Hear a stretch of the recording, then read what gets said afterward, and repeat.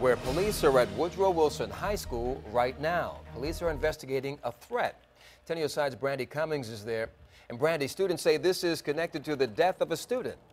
Yeah, Don, students are telling us today this all stems from the shooting death of 17-year-old Jay Xavier Hill. He was a senior here at Wilson High School, set to graduate last month. We just told you about him and did the story yesterday when police released that he was the person involved in that shooting over the weekend. Police have not made an arrest in that case, but police are telling us today they heard rumors that the people responsible for that shooting would also do a shooting at the school. This all started on social media. The rumor was that the school was supposed to, or rather the shooting rather, was supposed to happen during third block, which was around 10 o'clock this morning.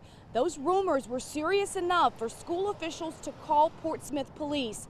Officers have the school surrounded right now. A Portsmouth police official says they have to treat every threat seriously. Since we've been here, we've seen dozens of parents picking up their children.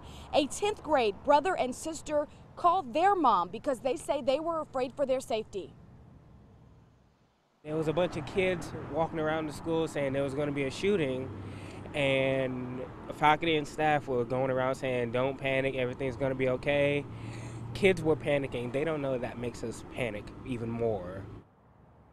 And again, many of them calling their parents to pick them up. Just a few moments ago, we heard from school officials, and we are being told that the principal says the absences of the students whose parents picked them up today will be excused. We're also being told now, so far, police are saying the threats do not appear to be do not appear to be credible, and uh, the school is not on lockdown. But again, Portsmouth police still right now surrounding Wilson High School, and something we'll be following throughout the day. For now, live in Portsmouth, Brandy Cummings, 10 on your side.